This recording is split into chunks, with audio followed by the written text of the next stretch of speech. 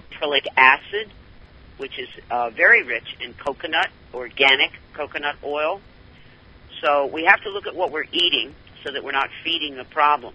But beyond that, after you do all that, it's still uh, kind of, you know, shaking its fist at you.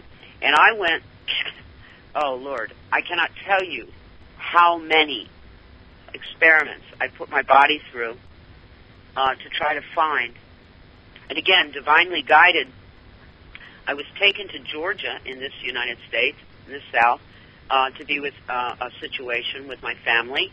And I was working in the African American community there in a little herb store.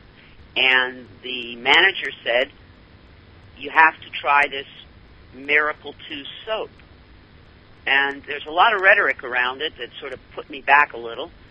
But she said, No, no, no, no. You know, listen to this tape.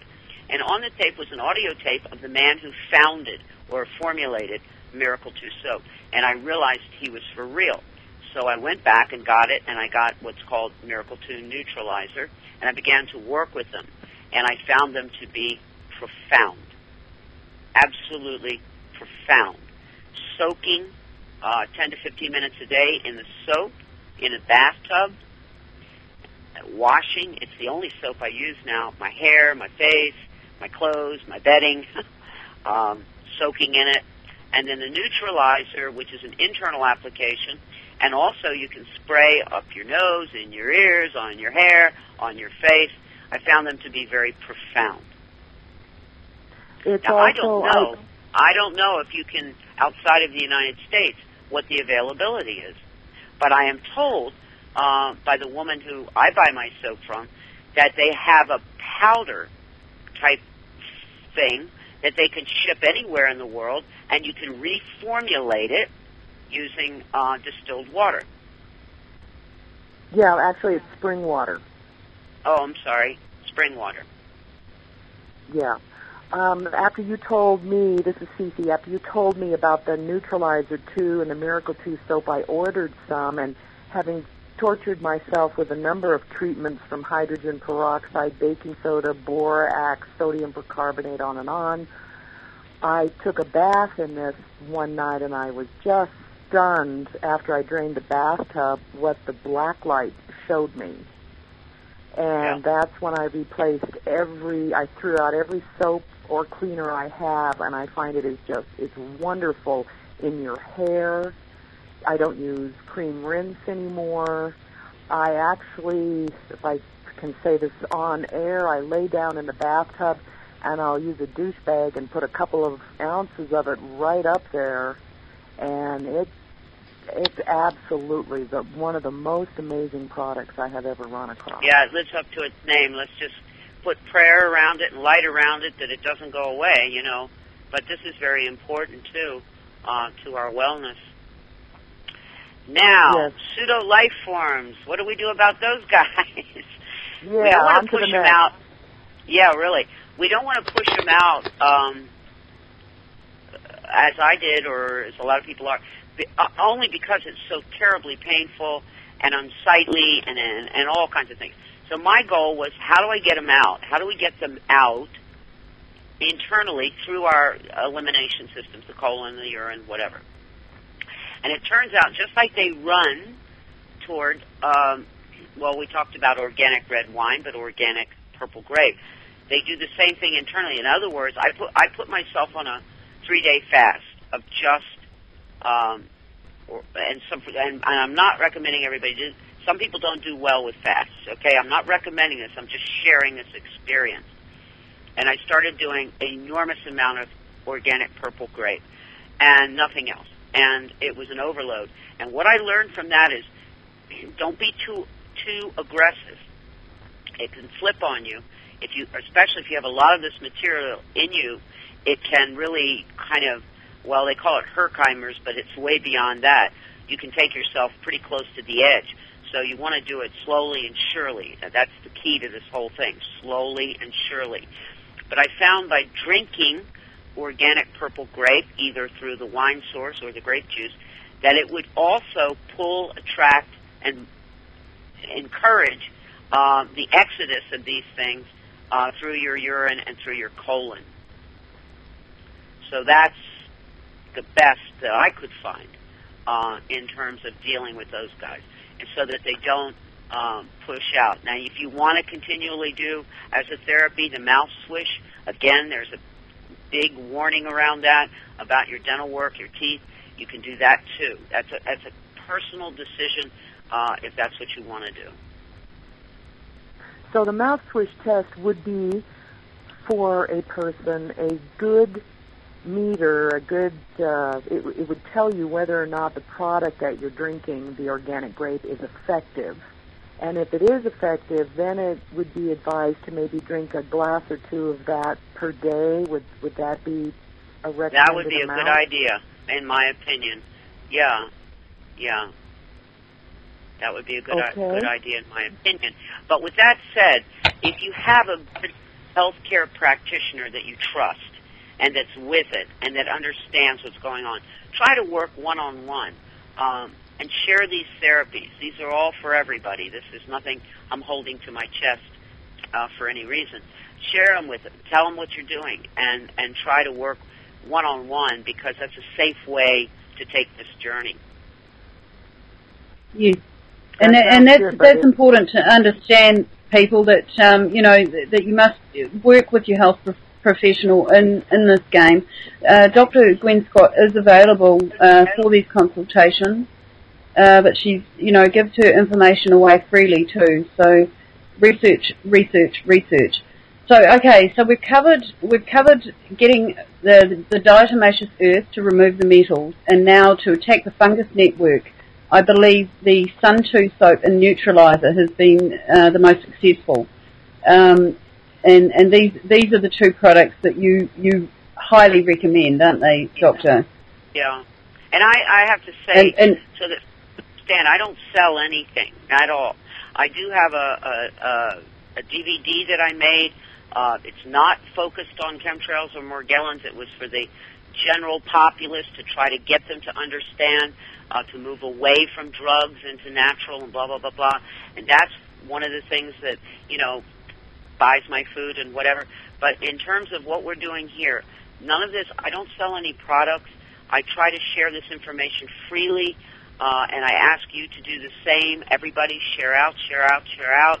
These times are not times for profit per se. These are times to open our hearts and understand that we are one humanity and we need to help each other. The final thing that that keeps showing up is this crystalline polymer material in us, and um, it might be of all the things that we've mentioned, one of the most concerning. Its purpose is still unclear. Uh, everybody has an opinion. It looks like it might be programmable, um, something like a computer type thing. It certainly integrates into our tissue. Uh, it's in our blood. It's in our scar tissues, um, and it's it, it's a difficult at best. I think the Miracle 2 soap and neutralizer uh, help. Uh, I think the Himalayan crystal pink salt helps break it up so our body can get it out. Uh, I know uh, smoking certain herbs like spearmint, mullein, comfrey, yerba santa, sage, colt's foot. These things are very, very helpful uh, in helping it come out of our lungs, helping us cough it up out of our lungs. Uh, but it, it, uh, it's toughy. It's a toughie in terms of getting getting it out of our bodies. Now, Dr. Mike Castle says that apple cider vinegar, of course, organic, does help, um, and he and he puts a cautionary around that. If anybody has any kind of silicone implants, or if they've had their face, he's working with a woman right now. Her face was injected with silicone, I guess for cosmetic purposes. Then you don't want to consider uh, including apple cider vinegar into your regimen because he says it helps uh, silicone dissolve and then uh, it's worse. So if you've got any of that going on, maybe not a good therapy. But for the rest of us, he says um, apple cider vinegar is a very good solvent for this polymer. That's interesting. Have you done any work with enzymes, or can you make any comment about what role enzymes might play in good health or detoxing from the elements and chemtrails? Well, enzymes are critical to everything. You know, that's that's just critical. The problem is now in this country they're passing laws, um, and I don't know when they're going to implement them. That that all of our organic foods have to be radiated or irradiated, and that will kill, destroy uh, all the enzymes in our foods, uh, which are critical for digestion, absorption, uh, assimilation of all of the nutrients that we need. Uh, enzymes are critical, and many people are very deplete. Now, if you're still able to get that in supplementation, fine, go for it uh, at the health store. But we don't even know because they're marching towards shutting that availability down to all of us um, in this country, and I, and I know uh, Germany and most of Europe uh, that these things are not available. Obviously, if we can eat greenhouse, organically grown vegetables, that's the best way to go. Sprouts, if you can and make sure that the sprout, the seeds are not uh, GMO'd or in any way been altered or irradiated. A lot of the seeds are irradiated now. I mean, it's a crazy landmine thing we're going through here. Um, but sprouting your food will give you some very rich sources of enzymes, in, you know, in your own home and the protection of your own home as best you can. I've been um, putting a lot of organic, quote unquote, foods under the microscope, and it's very disturbing because I'm seeing these materials in in our food, even the best of our food um, that we're trying to uh, be conscious about and eat organics. But if it's been grown outside, it only makes sense. We have millions of tons of this stuff dropped on the earth. The soil absorbs it, and of course, it's going to go up into whatever's growing there. And Dr. Scott, I know um, I had an experience with um, with inflammation after a car accident, and I know that I was working. I had finally given up on um, conventional medical doctors because they were just harming me more. I had six ruptured discs as a result, and I wasn't healing. And I w- started working with an ac- acupuncturist who did um, Chinese herbal medications as well, and he teamed up with a naturopathic doctor and discovered that I was very deficient in a lot of these enzymes, and some of those enzymes were real specific to controlling inf- inflammation, which that would be, you know, one of the main um, reasons that we experience pain and, and a lot of other exactly. conditions. So is is that depletion of enzymes? Um, are you saying that the depletion of enzymes is actually um, could be related to the heavy metals or the nanoparticles? Uh, it's it's related to a lot of things. Uh, how to go back? Um, in the old, old, old, old, old days, when we grew our food, we had the wisdom to rotate our gardens, um, seven-year cycles, so that all of the wonderful nutrients that were in the soil would come up into our food, and and we would get the benefit from all that. But so much has happened since then, and so enzymes are very, very delicate little beings and easily, well, they're totally destroyed in the